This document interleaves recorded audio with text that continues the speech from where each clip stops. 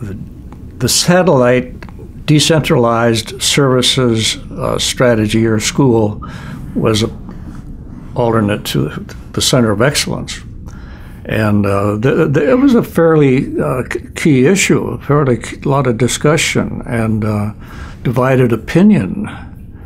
And uh, but what we felt that uh, we, we really actually had to do it uh, but not at, at, the exclusion of developing the excellence. So we, we sort of developed a duality of, of strategy, continue to build excellence on the main campus.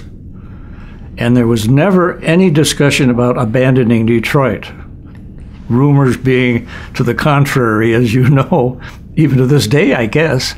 But um, uh, so it was a, a, a, duality of strategy. Go into the suburbs with ambulatory care, which was legal and permissible, uh, much to the consternation of the hospitals and doctors out there. Uh, plus, building the excellence on the main campus.